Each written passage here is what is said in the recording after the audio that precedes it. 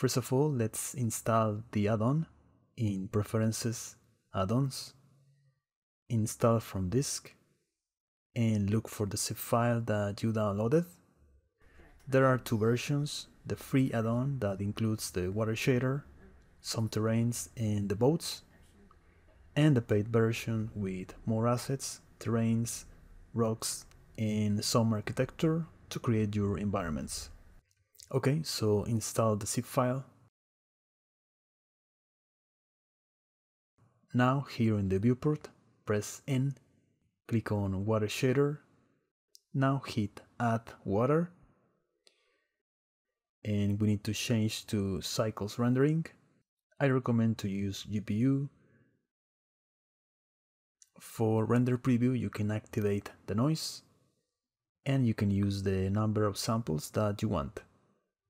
Now we can change to render preview, but we need to light the scene. In world, we can select environment texture and we can add an HDRI so we can have reflections or we can use a sky texture. Now let's go back to render properties.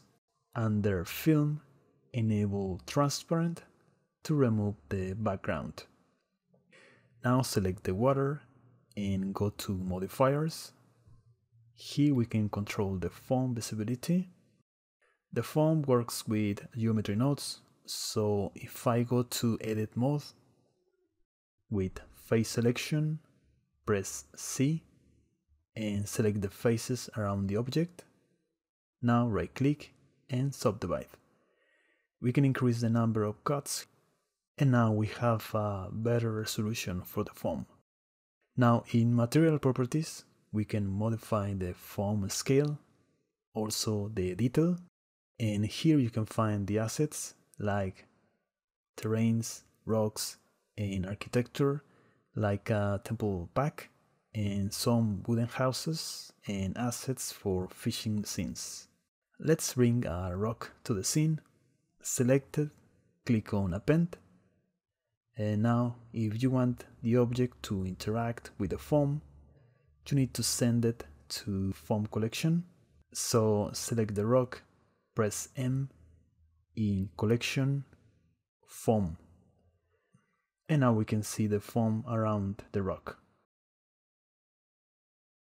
Something important, if you delete the terrain and the tower, you will see the foam all over the place just go to modifiers and set the foam to 0 or you can add any object to the foam collection to fix it. Now I added a boat here and I want to make the water trail so I can add a cube scale it up with S then X control A and apply the scale Now press Ctrl plus 2 to add a subdivision surface modifier and now send it to foam collection. Now here in the outliner hide it from the viewport and from render, but the water trail will be still visible.